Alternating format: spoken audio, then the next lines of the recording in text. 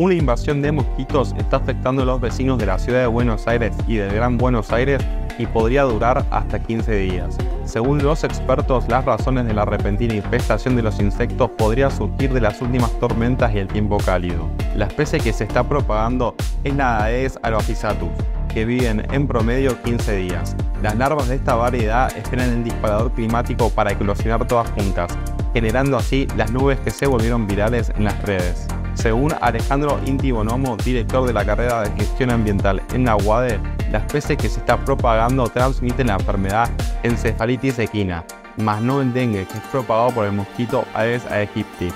El especialista resaltó que este tipo de invasiones se van a ver cada vez más seguido debido al cambio climático, por lo que es relevante que haya una política de gestión ambiental para enfrentarlos.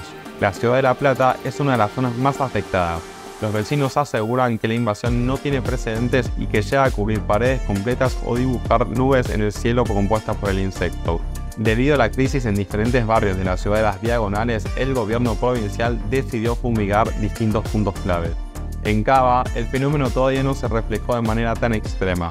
Sin embargo, barrios con fuerte presencia de espacios verdes como Caballito, que cuenta con el Parque Centenario y el Parque Rivadavia, se encuentran entre las más afectadas.